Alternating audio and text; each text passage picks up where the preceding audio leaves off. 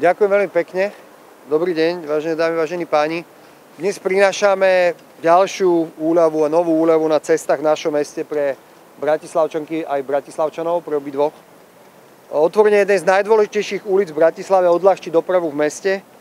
Pre cyklistov a chodcov pribudnú nové bezpečnejšie možnosti pohybu a vodičom a cestujúcim prinesie komfortnejšiu jazdu. Podobne ako pri Dubravsko-Karloveskej radiále sa nám podarilo vylepšiť pôvodný projekt ulice Mlínskej Nivy a dnes môžeme všetkým obyvateľom nášho mesta odovzdať ešte kvalitnejší priestor. Kvalitnejší, ako sme ho našli na stole, keď som sa stal primátorom. To, čo sa nám podarilo na tejto ulici, na ulici alebo bulváre Mlínskej Nivy, sa snažíme uplatňovať pri všetkých priestoroch. Viac bezpečného miesta pre chodcov, viac bezpečného miesta pre cyklistov a podpora verejnej hromadnej dopravy. A budeme v tom pokračovať. Podarilo sa nám spraviť širšie chodníky, bezpečnejšie ostrovčeky, nové bezpečnejšie svetelné riadené priechody prechodcov, viac zelene či presun cyklotrasy do bezpečnejšieho priestoru za autobusovou zástavkou. Viem, ako dlho bolo očakávané otvorenie tejto ulice, ako dlho očakávali všetci obyvateľia a najmä tí, pre ktorých je toto trasa, tá je táto trasa každodennou trasou za povinnosťami. Uvedomujem si, že situácia v okolí rekonštrukcie bola neraz zložitá, O to viac sa teším, že ju v pondelok konečne môžeme otvoriť pre všetkých. Teším sa aj na ďalšie pokračovanie, na novú autobusovú stanicu, ktorú naše mesto tak dlho už čaká a ktorá prinesie vyšší komfort a úroveň do cestovania spoločnou hromadnou dopravou kdekoľvek a kamkoľvek. Ďakujem veľmi pekne. Ďakujem veľmi pekne, dámy a páni. Vítajte v Ružinove, alebo teda na hraničnom, na hraničnom prechode do Ružinova, pretože sme úplne na hranici. Rovnako sa veľmi teším, že to čakanie malo zmysel a že sa teda konečne podarí uľahčiť našej doprave a otvoriť túto krásne urobenú, zrekonštruovanú ulicu Mlínskej Nivy v tomto úseku. Chcel by som eh, len veľmi stručne poďakovať tak pánu primátorovi Matušovi Valovi, ako aj spoločnosti Haber Reavis za to, že sa podarilo na poslednú chvíľku, doslova niekedy úplne na poslednú chvíľu, implementovať zmeny do tohto projektu, ktoré ešte výrazne zlepšili túto rekonštrukciu v prospech ľudí, v prospech chodcov, v prospech cyklistov, v prospech mestskej hromadnej dopravy. No a pevne veríme, že po tom veľmi ťažkom roku dopravnom, ktorý si Bratislava kvôli uzávere tejto ulice, ale aj kvôli uzávere križovatky pod prístavným mestom užila, tak toto je naozaj prvý krok k zlepšeniu dopravy v celom meste, na ktorý samozrejme potom musia nadviazať ďalšie kroky. Napríklad dobudovanie novej električkovej trate v tejto lokalite, ktorá je naozaj, ak sa obzriete okolo seba, miestom, kde sa Bratislava veľmi intenzívne mení a veľmi intenzívne rastie. Som aj rád, že sa podarilo v rámci tých príprav a tejto stavby vyriešiť aj mnohé iné veci, Napríklad od začiatku sme upozorňovali, že aj táto krížovatka, pri ktorej stojíme, si bude žiadať ďalšie rekonštrukcie v budúcnosti kvôli iným stavbám v tejto lokalite. To všetko sa vďaka aj spolupráci so spoločnosťou HB Reavis podarilo vyriešiť a teda nemalo by hroziť, že v najbližších rokoch bude toto miesto znova a znovu opakovane uzatvárané, keďže pôvodne tu hrozili až tri ďalšie rozkopávky každá na pol roka. Takže teším sa, že čoskoro od budúceho týždňa budeme jazdiť po tejto ulici a dúfam, že nie autami, ale mestskou hromadnou dopravou.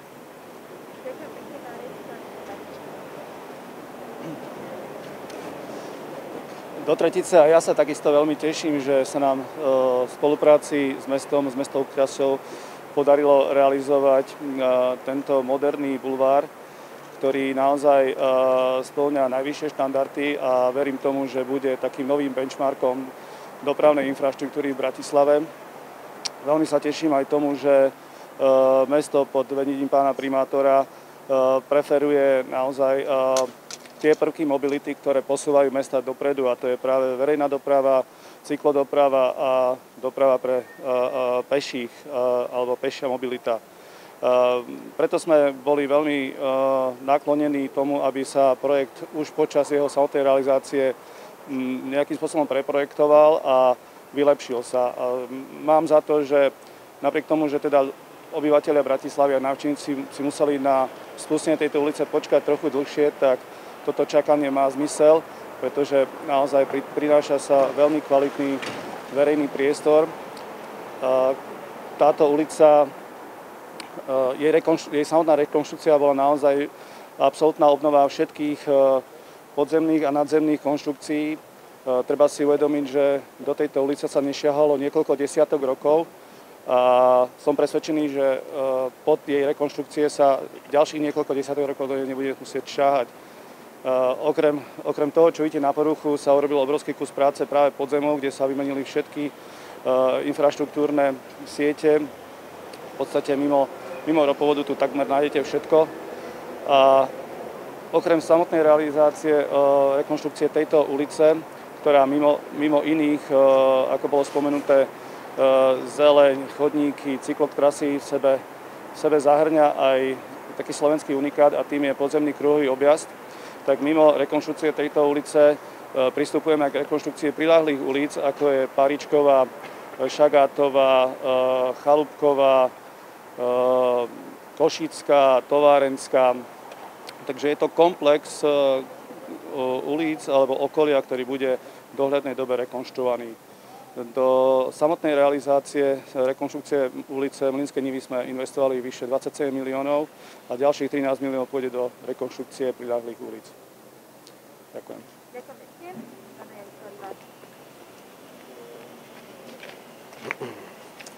Pre dopravný podnik Bratislava, ako aj pre obyvateľov Bratislavy, je veľmi pozitívnou správou, že na, ulice, na ulicu Mlinské Nivy sa takmer po dvoch rokoch vrátia pôvodné linky MHD, a prejazdom cez tento zmodernizovaný bulvár sa stane mestská hromadná doprava Bratislave atraktívnejšou a vďaka novo vybudovaným buspruhom aj rýchlejšou a efektívnejšou.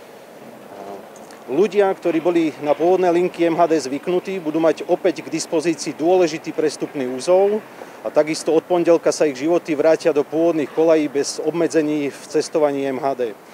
Vzhľadom na veľkosť projektu Mlynských hnív budeme naďalej pokračovať vo vyhodnocovaní vyťaženosti jednotlivých liniek, aby sme mohli aj naďalej pokračovať v zlepšovaní dopravnej obslužnosti aj v tomto novom území. Ďakujem pekne. Tak ako sme vás už informovali, tak eh, bude následovať aj krátka prehliadka už na to aj správne vybavení. Teraz dávame ale možnosť na pár otázok eh, pre pánov, ktorí sa nezúčastnia úplne celej tej prehliadky, prípadne na krátke aj osobné rozhovory, ak by ste si chceli uh, potom diať. Čiže ak máte nejakých pár otázok, teraz uh, môžeme dať kolečko, ale všetky aj odborné veci vám zodpovedajú odborní pracovníci, ktorí pôjdu sami po celej tej prehliadky, takže tam bude možnosť sa pýtať na naozaj jednotlivé konkrétne podrobnosti. Ak by ste mali teraz niekto nejakú otázku, tak nech sa páči Martin Petr Martin. Dobrý deň, Martin Petr Martin. Najprv teda vás, pán rejiteľ dopravná by som čítal, ak som to dobre čítal, tak nechcú zatiaľ to trolejové vedenie tu ale je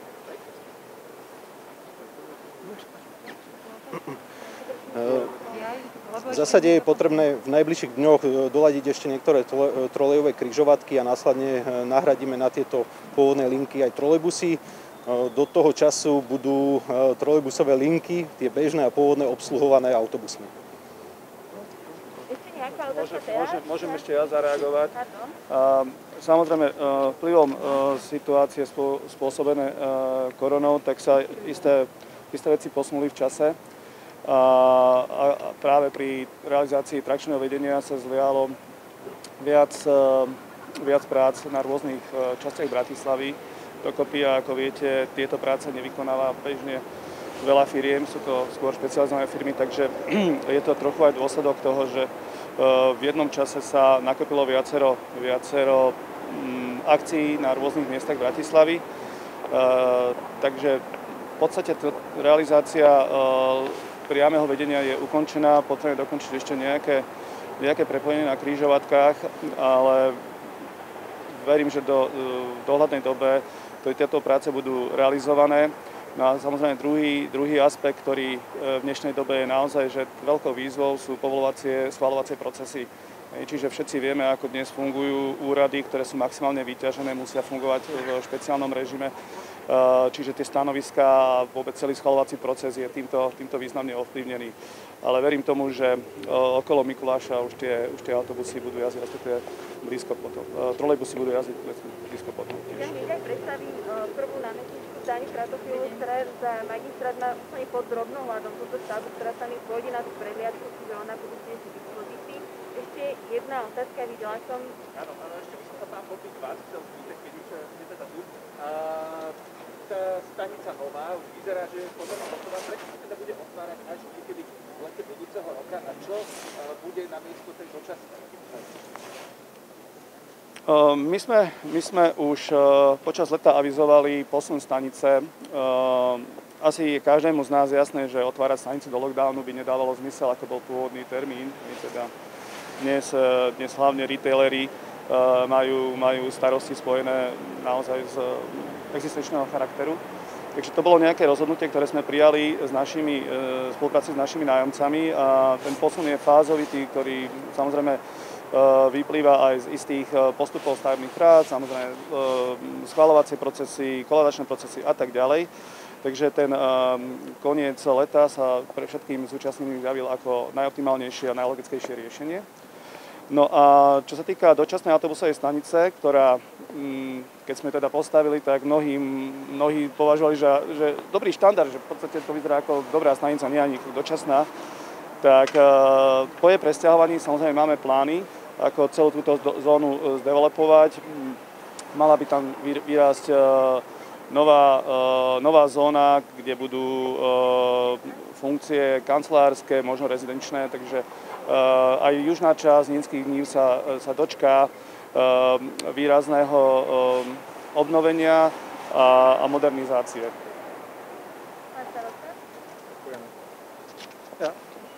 Ospravedlňujem sa, ale ako sme tu stáli, tak som tak spomínal vlastne na začiatky a uvedomil som si, že predvčerom boli presne dva roky od komunálnych volieb.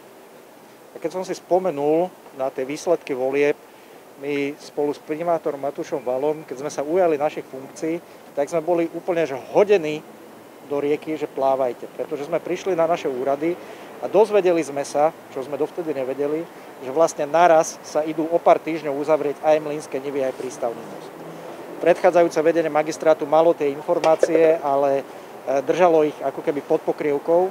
A spomenul som si na tie prvé dni a týždne, ktoré boli plné naozaj, že veľa, veľa hodinových porád cez deň v noci, kde sa ešte podarilo poposúvať trošku termíny a podohadovať nejaké prvé zmeny, aby ten kolaps dopravný, ktorý aj tak nebol úplne jednoduchý, e, sa podarilo zmierniť.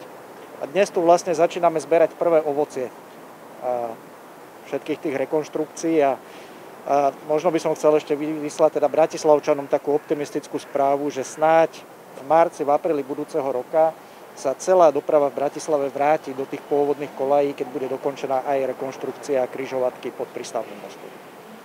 Ďakujem pekne. Ešte som videla film Trup, Beatri, nech sa páči. Ja chcela na čo ste aj teraz povedali, že keď sa po februári táto ulica spolu s tými priateľmi na prístavný most uzatvorila, tak sledovala ten deň aj letka, ministerstva vnútra, vládne zastupy sledovali nejaké uh, videokanály, že ak by ste to mohli hodnotiť, čo vlastne to uzatvorenie, uh, ako Bratislava zvládla? Uh, tak, tak ako povedal uh, starosta Chen, uh, keď sme, sa, keď sme prebrali mesto, mali sme na stole okamžité uzavretie tohto bulvára.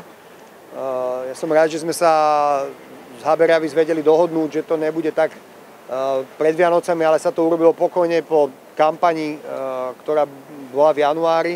A musím povedať, že vtedy sme mali kamery rozostavené na celých úsekoch, eh, ktoré mohli byť týmto ohrozené a sledovali sme to, kde budú aké zápchy a musím povedať zase raz, že Bratislavčanky a Bratislavčania tú našu kampaň vypočuli a našli iné trasy, našli iný, iný čas, kedy išli do roboty. Ja som sa vtedy stretol aj so všetkými zamestnávateľmi eh, v tomto okolí, kde som sa ich prosil, aby dokázali dať flexibilný začiatok pracovného času svojim zamestnancom.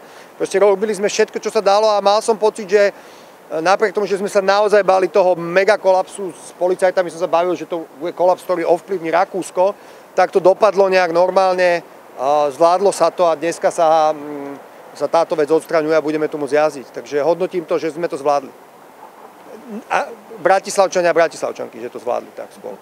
To chcem povedať. Či teda aj podľa vás ako architekta prístupka k tejto ulici pomenovanie bulvár? Je, áno, keď si zoberieme šírku tej ulice, tak určite jej prislúcha to pomenovanie bulvár. Bol by som rád, keby sme mali v Bratislave bulvár trošku dlhší. Je to taký krátky bulvár, ale je to ďalej ulica Mlínskej Nivy ako bola. Čo je dobré, že sa tu nájdú všetci. Sú tu rozšírené chodníky, je tu bezpečná cyklotrasa, je tu priestor pre segregovanú mestskú hromadnú dopravu a nakoniec aj pre autá. To je pre mňa dôležité.